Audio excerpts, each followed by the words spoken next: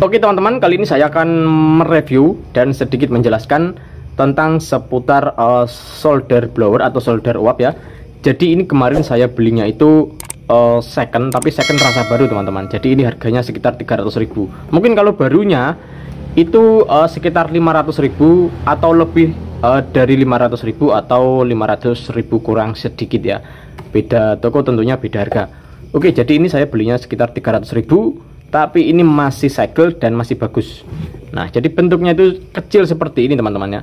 Sekitar segini ya. Nah segini. Uh, 10 jari ya kita kira-kira 10 jarinan untuk uh, ukurannya. Nah jadi soldernya itu seperti ini. Saya dapat solder ini sama uh, blowernya juga ini dudukannya Terus di sini juga dapat nozzle-nya teman-teman. Ada tiga nozzle ya di sini ya. Oke, nah ini saya akan uh, sedikit uh, review ya dari solder Kodi uh, tipe 858D ini ya. Nah di sini solder ini uh, kita baca dulu di bagian belakang sini.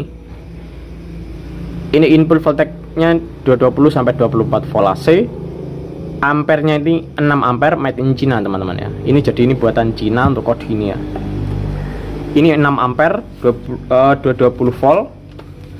Dan kode ini suhunya atau temperaturnya ya dari minimal 100 derajat sampai dengan 500 derajat celcius. Ini untuk tingkat kepanasannya teman-teman.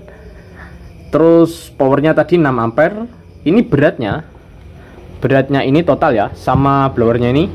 Ini kira-kira uh, 20 uh, 2 kg ya 2 kg untuk beratnya dari keseluruhan.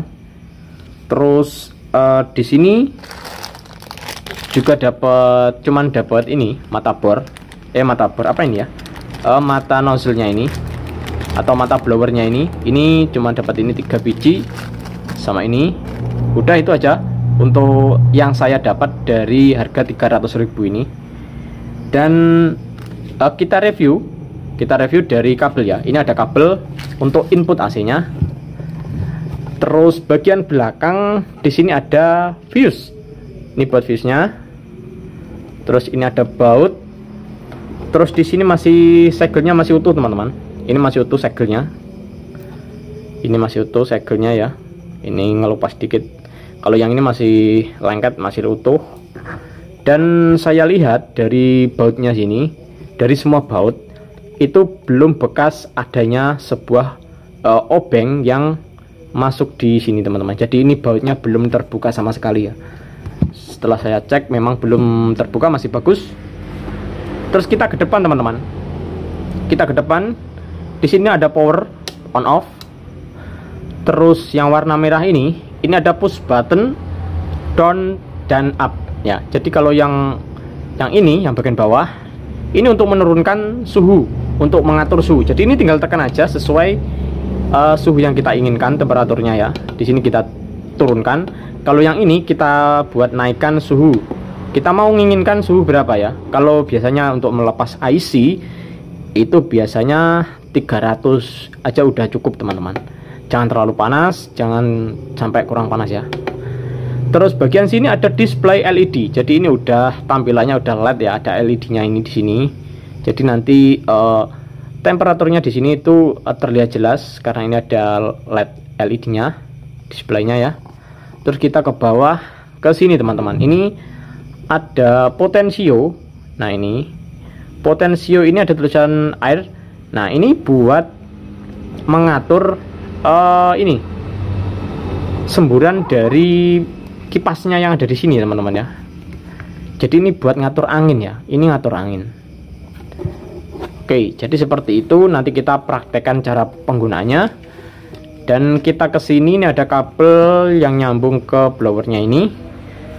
Nah kalau yang tipe baru seperti ini ini kipasnya itu ada di sini blowernya ya. Ada di sini kipasnya. Terus di bagian sininya itu ada elemen. Dan ujungnya seperti ini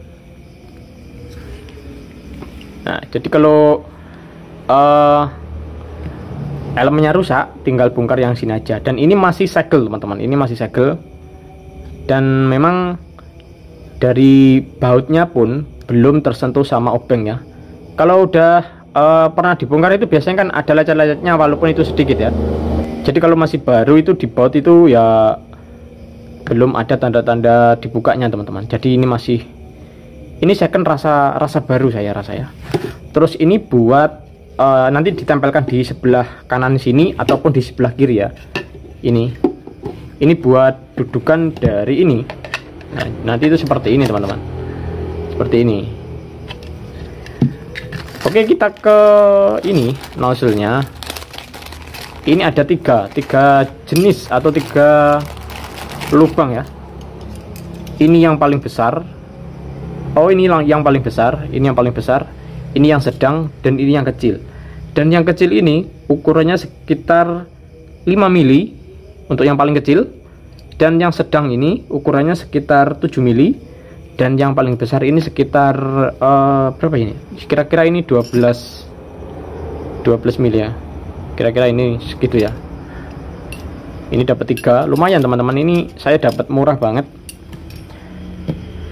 300.000 udah rasa baru ya. Oke sekarang kita coba dulu teman-teman. Kita tancepin aja ya. Kita tancepin. Oh ya di sini tuh sudah ada sensornya ya teman-teman. Sensor. Jadi ini nanti kalau kita pasang di sini ya. Terus posisi ini on nyala ya. Ini uh, soldernya ini nyala. Terus kita taruh di sini seperti ini. Suhunya akan turun secara otomatis sendiri tuh uh, turun ya turun tapi kalau nanti kita lepas dari sini kita buat lagi ini akan naik sendiri jadi seperti itu ini lumayan canggih daripada tipe yang lama-lama Oke, ini kita coba dulu teman-teman. Jadi ini tuh uh, cuman solder uap aja atau blower aja ya teman-teman. Jadi nggak ada solder uh, biasanya atau biasanya kan ini gandengan sama solder solder biasa itu sama uh, power supply biasanya. Ini ini menyendiri. Kita coba teman-teman. Cara penggunaannya itu seperti ini ya. Kita nyalakan powernya. Nah, Nah, ini ini temperaturnya 200. Ini bisa kita turunkan. Bisa kita turunkan lagi sampai 100. Bisa kita naikkan, teman-teman. Jadi uh, untuk penggunaan sesuaikan sama sama uh, kebutuhan ya. Ini kita naikkan bisa sampai 500 ini. Nah, kita coba dulu yang 300 saja, nggak usah tinggi-tinggi. Nah, ini tuh kecil banget anginnya ya nggak kecil-kecil banget sih soalnya kan di sini belum saya setting ini ya ini masih mentok di satu di angka satu ya jadi kalau pengen anginnya itu kencang ini tinggal kita putar aja potensionya ini kita putar kita putar sampai menemukan angin yang kita inginkan ya karena uh, ini potensio ini gunanya untuk mengatur angin Oke, ini kita atur di 300 derajat Celcius. Kita nggak pakai nozzle ya, gini aja. Kita coba blower ini. Ah, ini langsung leleh teman-teman. Ini, langsung leleh ya.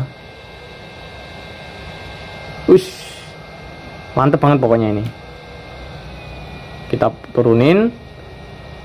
Ini kita bisa setting lagi untuk temperaturnya bisa kita turunkan ke 200 sampai mentoknya itu 100 ya kalau maksimalnya itu sekitar uh, eh, 500 derajat celcius kita matikan dulu.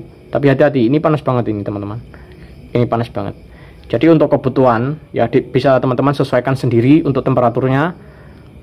Panasnya itu berapa derajat celcius itu tergantung kebutuhan teman-teman mau dibuat pakai apa. Kalau untuk penyepotan IC biasanya itu uh, eh, 300 itu aja udah cukup ya teman-teman. Jangan terlalu panas dan jangan sampai kurang dari itu.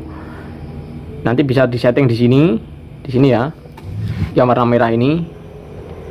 Bisa setting di sini. Dan untuk anginnya kecepatan anginnya pengaturannya ada di sini ya. Ini di potensionya ini. Nah seperti itu. Ini gampang banget penggunaannya teman-teman. Dan untuk nozzle-nya ini teman-teman sesuaikan juga dengan kebutuhan. Mau dibuat pakai ngelepas apa atau masang apa ya. Ini ada tiga macam ini ukurannya yang kecil sedang sama besarnya. Tadi sudah saya sebutkan untuk ukurannya ya. Sekarang teman-teman uh, sudah saya kasih tahu ya. Atau sudah saya review dari solder Kodi 858D ini. Jadi seperti ini. Jadi ini tinggal ini dudukan ini teman-teman. Ini dudukan buat ini ini. Nah gini nih. Ya jadi ini kalau kita pasang seperti ini terus uh, posisinya ini nyala ya. Ini nyala. Ini kan ada 200 200 terus kita taruh di sini. Nah dia turun teman-teman. Dia turun ya. Otomatis dia turun. Kalau misalnya kita nggak pakai ya kita nggak pakai dia akan turun sendiri. Nah dia bakal turun turun turun turun sampai ke ini mati ya sampai ke nol. Sampai mati dia dia mati sendiri. Jadi otomatis gitu ya. Tapi ini kalau kita angkat nah dia nyala sendiri dan suhunya naik ke temperatur yang sudah kita setting tadi. Jadi ini canggih banget ya mantep banget ini. Coba kita tempel di sini ya. Nah dia turun lagi teman-teman. Turun sampai 100 nanti kalau udah 100 dia mati. Tapi kalau kita angkat lagi dia naik dan dia nyala. Jadi seperti itu. Ini keren banget mantep banget ya oke saya matikan dulu seperti ini. Jadi teman-teman untuk pemula-pemula seperti saya ini sebaiknya beli yang kodi seperti ini. Ya saya itu bukan sales sebenarnya cuman kalau saran saya itu lebih uh, saya itu senang ke kodi dari dulu ya. Dulu waktu saya dikerja di handphone itu memang kebanyakan teknisi di tempat kerja saya itu pakai yang kodi ini. Cuman yang satu set sama power supply ya jadi seperti itu. Oke jadi seperti ini review yang uh, bisa saya sampaikan mengenai solder kodi tipe 858D ini. Semoga teman-teman paham cara penggunaan dan fungsi-fungsi daripada tombol yang ada di sini. Dan juga untuk ini nozzle-nya ini tinggal kita kendorkan aja bautnya. Terus kita tempelkan aja di ujung sini. Kita sesuaikan dengan uh, kebutuhan kita ya. Kita mau lepas atau mau memasang apa ya oke terima kasih sudah menonton video ini. Uh, besok akan kita uh, jumpa lagi dengan ide kreatif yang sangat bermanfaat tentunya ya. Oke terima kasih teman-teman. Sekian dulu tutorial kali ini. Sampai jumpa